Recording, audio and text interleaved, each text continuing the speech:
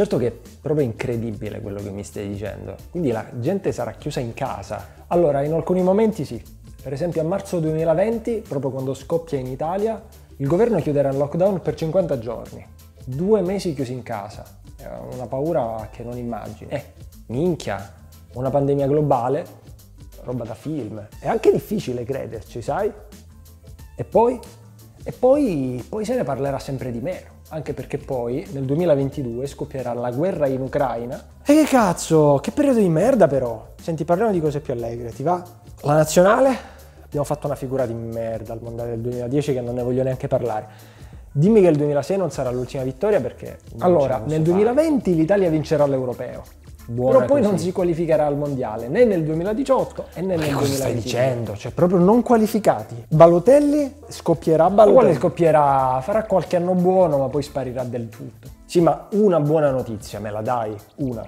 Tipo, in amore? In amore bene. In amore bene. Mi frequento con una ragazza da un paio d'anni e oh, mi fa piacere. le cose sembrano andare bene. Io in questo periodo invece proprio zero. Non ho proprio la testa. Università a palla, faccio teatro, e lo sai, suono, e lo sai, faccio animazioni di feste per bambini, e lo sai, mi diverto un botto, sono impegnato in chiesa, nell'azione cattolica. Insomma, mm, ora come ora non ho proprio testa per stare con una ragazza, sono troppo impegnato. Mai dire mai nella vita. Siamo a maggio 2012 in questo momento, giusto? Tra qualche mese, quest'estate, incontrerei una ragazza che ti cambierà la vita. Uh, addirittura. Perché sarà un amore tossico, sarà un amore tossico che ti porterai appresso per tre anni minimo. Per tre anni? Io, per tre anni. Che la relazione più lunga che ho avuto è stata sei mesi.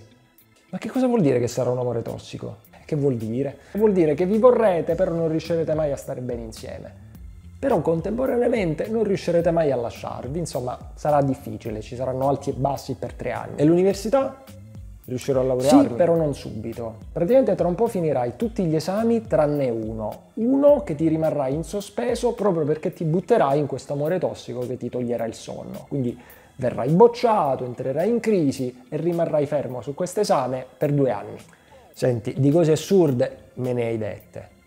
La pandemia, la guerra in Ucraina, l'Italia che non va al mondiale, io che mi butto in una relazione tossica, tutte cose assurde. Però fino ad ora, ti posso dire la verità, ti avevo creduto. Cioè, poco a poco era plausibile. Ma io, io, che non sono mai stato bocciato, mai. Ho avuto una carriera, non dico brillante, però ottima, che io possa rimanere fermo sull'ultimo esame per due anni, impossibile. Impossi- impossibile, mi stai prendendo in giro. Eppure, eppure andrà così. No. Peraltro per me è un periodo così positivo ora, cioè il fatto che tra qui a qualche mese possa cambiare così tanto, non lo so. Peraltro non ti ho detto un'altra cosa, sai, in questo periodo ho iniziato a caricare dei video su YouTube. E tu, te lo ricordi questo periodo? Ne carichi ancora video su YouTube? Caspita se ne carico, ci sono oltre mille video a nome dato Bugs su YouTube. Oggi è il mio lavoro. Cioè tu mi stai dicendo che nonostante la laurea in ingegneria informatica, il tuo lavoro è fare YouTube, cioè ti pagano così bene. Non è un fatto di guadagni, non guadagno quanto guadagnerei se facessi, che so, l'ingegnere informatico. È un fatto di passione. Bello, bello, bello, bello. Insomma, non guadagno un cazzo. No, non guadagno un cazzo. Però riesco a mantenermi da solo, con i soldi miei, abito da solo, non, non abito più a casa dei miei, ho comprato la macchina da solo, la partita IVA, il commercialista, il conto in banca, insomma, guadagno quello che mi serve per vivere, facendo quello che amo. Bello, mi fa piacere. E quindi fammi capire, cioè tra dieci anni fare lo youtuber sarà tipo un mestiere riconosciuto da tutti. No, vabbè, non proprio da tutti, ci saranno sempre quelli che ti diranno tipo ma vai a lavorare ai miei tempi, però la situazione è in crescita. Tieni conto che già da qualche anno vengo chiamato nelle scuole per fare progetti didattici, tipo per spiegare il web, l'opportunità del web ai ragazzi, insomma così, questa tipologia.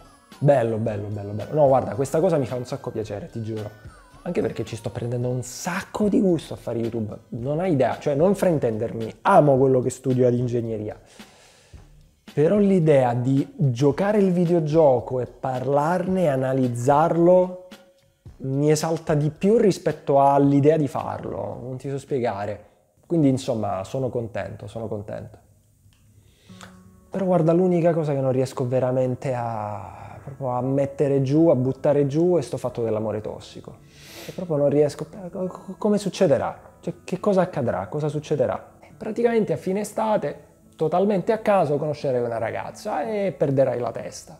E lei anche, diciamo. Quindi, come dire, partiranno una serie di eventi, insomma, perché non sarete proprio compatibili, però vi desidererete a tal punto da non riuscire, insomma, a farlo andare avanti, è complicato. Guarda, a fine estate, peraltro, cioè, mi sembra proprio una cosa... E se non ci andassi proprio a conoscerla? No, invece ci devi andare. Perché? Cioè, se mi farà stare così male in futuro, perché ci devo andare per forza? Perché tutto ciò che farai tu ti porterà ad essere me. Io non esisterei come sono adesso se tu non avessi fatto le esperienze che hai fatto.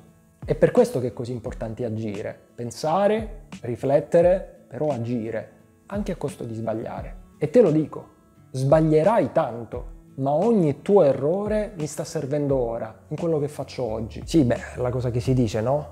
Il coraggio non è non aver paura, ma agire nonostante essa. Guarda, è pazzesco quante cose cambieranno tra dieci anni, sai? Ma questo video lo caricherai su YouTube? Certamente. Vuoi dire qualcosa al tuo pubblico del futuro? Grazie ragazzi.